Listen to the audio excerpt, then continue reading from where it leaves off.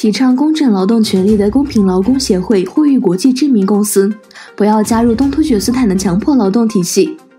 该机构呼吁包括阿迪达斯、耐克和彪马在内的公司停止购买与东突厥斯坦有关的所有产品。根据澳大利亚战略政策研究所上周发布的一份报告，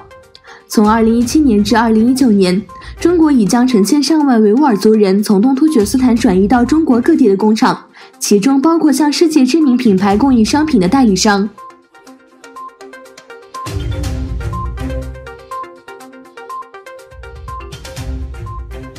住在美国的一名维吾尔人对美联社说：“我感到自己甚至在美国也被监禁。他们掌握了我们所有的信息，他们知道我们住的地方。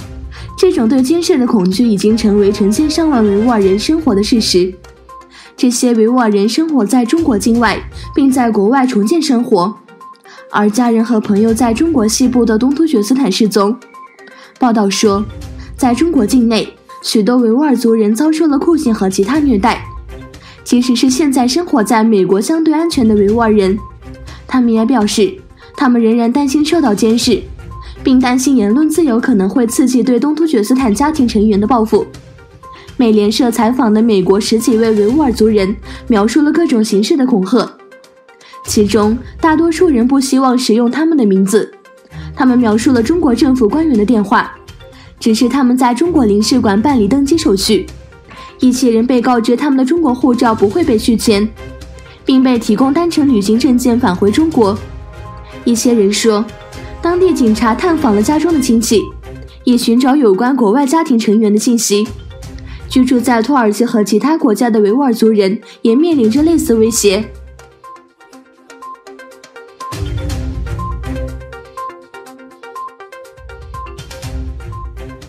土耳其卫生部长法赫勒汀库加宣布，土耳其出现首例新型冠状病毒感染病例。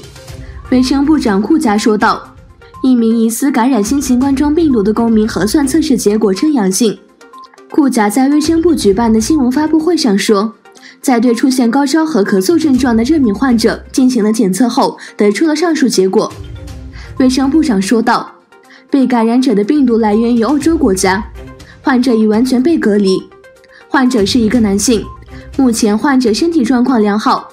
从这个意义上讲，患者家属及近接触者都已被隔离，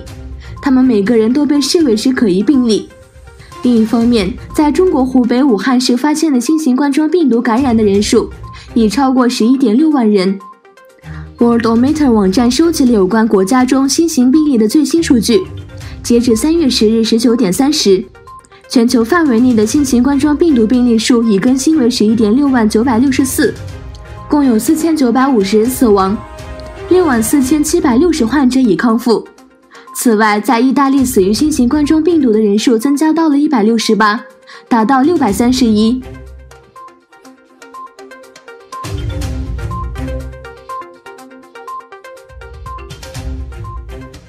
俄罗斯总统普京的任期到二零二四年结束。三月十日，一名议员提议将普京的任期清零，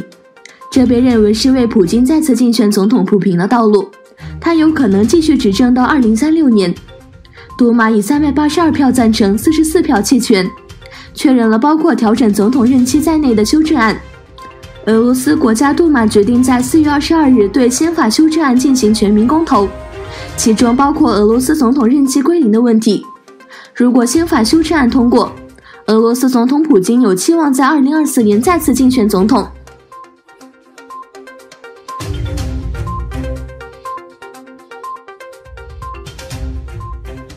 印度继续发生反穆斯林袭击，在印度排斥穆斯林的公民法导致大规模抗议活动，首都新德里的示威活动逐步升级为对穆斯林的暴力行为。